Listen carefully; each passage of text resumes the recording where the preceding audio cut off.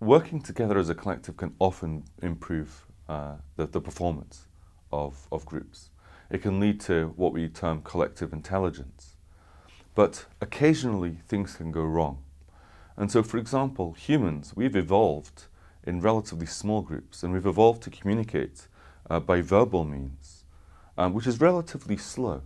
And of course, in our modern fast-paced life with Twitter, with you know, the internet, with uh, broadcasting, this means information flows very rapidly through systems.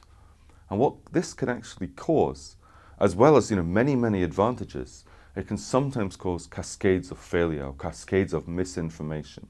And so sometimes when we're trying to process information too quickly, this can actually lead to massive sort of poor decision making.